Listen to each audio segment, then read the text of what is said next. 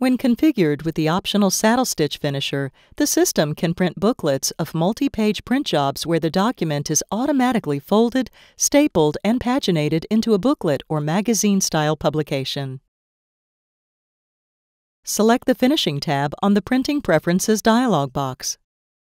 Select the booklet icon.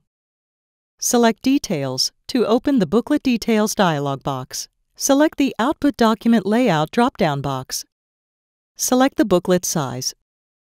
Under Page Order, select the page order for the booklet. To add a margin space between facing pages, enter a width in the center field. To add a margin on the outside edge, enter a width in the outer field. To fold the document at its center, check the Folding checkbox. To double staple the center, check the Staple down the center checkbox. Select OK to close the dialog box. Set additional print options and select OK. Select Print to send your booklet print job.